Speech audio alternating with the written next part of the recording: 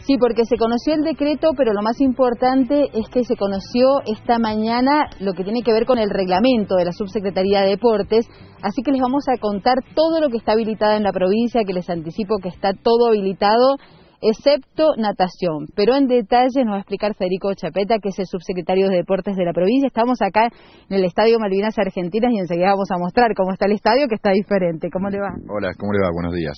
Bueno, queremos preguntarle qué actividades están permitidas, qué se habilita. Se ha habilitado toda la actividad deportiva de la provincia, menos, menos, la natación, que si bien está autorizada, están tomándose un par de días los infectólogos para habilitar el protocolo, pero se va a autorizar bajo, por supuesto, como todas las actividades, bajo la resolución que es clarísima de cuál es el protocolo estricto, las condiciones para realizar las actividades, que se basan en distanciamiento, por supuesto, todas las medidas de higiene preventivas y en el registro exhaustivo en el caso de los clubes o instituciones para ingresar al club. Básicamente eso es la normativa general. Hemos estudiado en el comité todos los protocolos, por supuesto, pero no enumeramos los setenta y pico. Han sido aprobados y se hizo una normativa general que debe ser cumplida para cualquier actividad, tanto individual como grupal, siempre basada en distanciamiento y un número máximo de 10 personas, como lo establece el DNU nacional, en el caso de que tengan que utilizar un campo de juego. En el caso, por ejemplo, de las academias de danza. Están en este momento en el Ministerio de Salud viendo eh, particularmente las academias que seguramente van a ser aprobadas bajo un protocolo muy similar a los gimnasios, pero lo debe hacer cultura, por eso lo van a anunciar ellos. Es decir, que no están habilitadas, por ejemplo, eh, eh, por ejemplo, danza contemporánea, si quieren dar zumba, por ejemplo, y ese tipo de clases. Sí, en los gimnasios sí, porque están contempladas dentro de las actividades de gimnasio.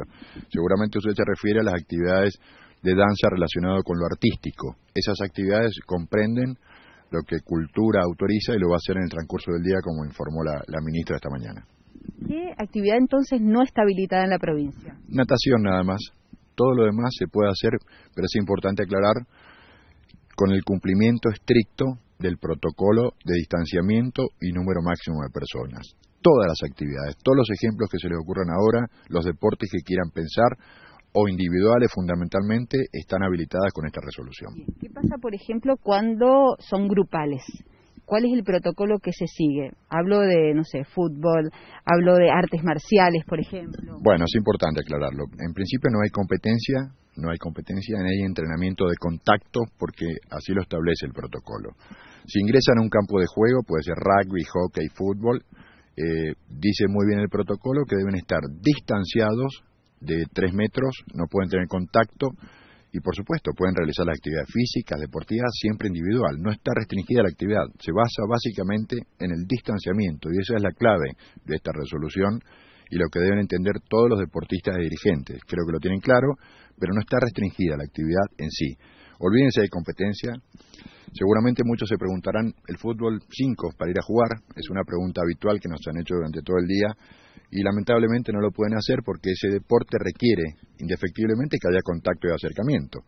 Se pueden realizar actividades, entrenamiento, pero sin tener contacto y sin acercarse. ¿Qué pasa con, por ejemplo, motocross, enduro, la gente que hace ciclismo en los senderos de la montaña? Sí, está habilitado, por supuesto. Está dentro de los deportes individuales que son de menos riesgo, por lo tanto, están habilitadas también.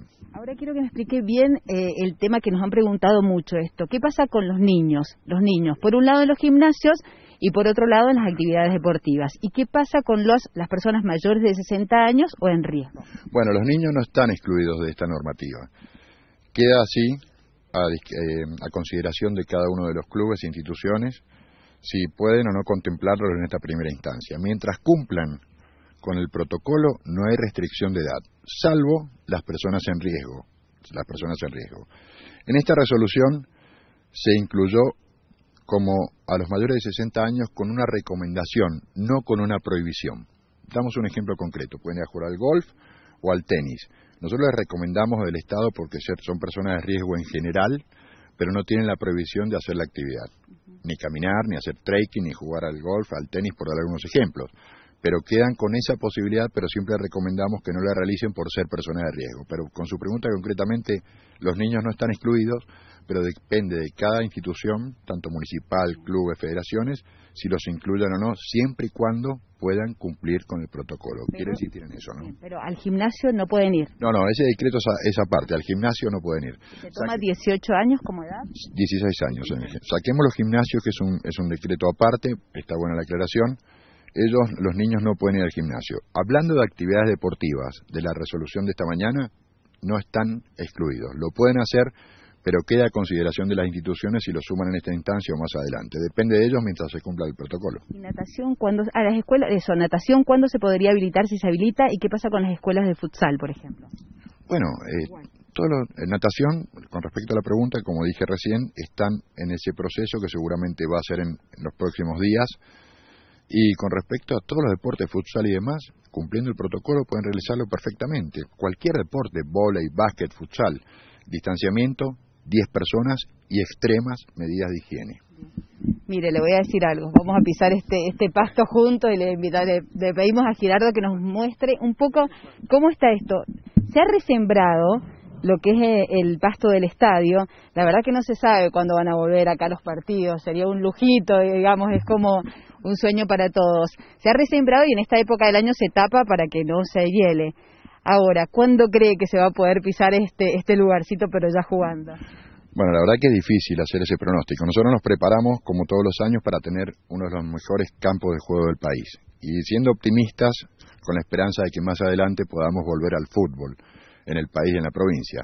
Por las dudas nos estamos preparando, lo tenemos listo, pero sería arriesgado decir cuándo. Yo espero siempre que, podamos hacer algo este año, pero no podemos asegurarlo. Igual estamos armados, hemos hecho una resiembra como todos los años muy buena y ustedes ven esta, esta tela que, que cubre el pasto recién sembrado justamente, que es pasto de invierno y hay que protegerlo de las heladas. Pero hacemos el trabajo como siempre por las dudas si podemos zafar a fin de año con algún partido. Muchas gracias, Federico, muy amable. Gracias a ustedes. Bueno, creo que es todo. No sé si les quedó alguna pregunta, alguna pregunta que haya llegado de algún televidente o algo que quieran consultarle al subsecretario de Deportes. lo, tenemos acá para preguntarle. Marcela, gente que sigue preguntando qué pasa con los mayores de 60 y me imagino que sigue esta cuestión de que mayores de 60 todavía no pueden volver a las actividades. No, explicó Federico que eh, los mayores de 60 años pueden hacer, no está restringido, es decir, pueden hacer ellos recomiendan que no vayan a hacer actividades físicas, pero no está prohibido. Es decir, las personas en riesgo son las que no pueden ir, pero en realidad los mayores de 60 pueden practicar cualquier tipo de actividad física. La recomendación es quedarse en casa, pero no quiere decir que no lo puedan hacer. De hecho, esta mañana estuvimos recorriendo clubes de tenis y veíamos a gente mayores de 60, de 60 años que en definitiva no tienen ninguna enfermedad y querían ir a jugar y fueron a jugar. Mm. Lo mismo pasa con el polo o con cualquier otra actividad. Lo que no pueden hacer es ir a los gimnasios, ¿no, Federico? No, los gimnasios no pueden ir. Está buena la aclaración. Ni los menores de 16 ni los mayores de 60. Pero el resto de las actividades, como bien explicaba, están, están habilitados para cualquier cosa. Pueden, pueden participar de cualquier actividad deportiva en la provincia. No está esto prohibido.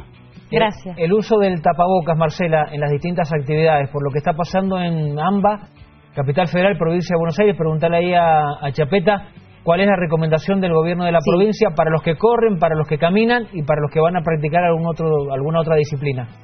Bien. ¿Qué dicen en general los, los protocolos en, cuanto al uso del tapabocas? Sí, sí, es obligatorio.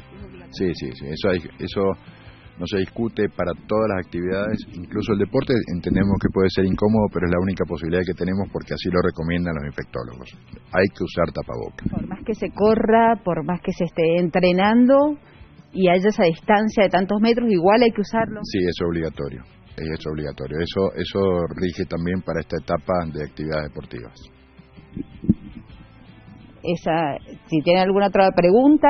Bueno, hoy estuvimos en una práctica de tenis. Eh, se complica para quien va a practicar deporte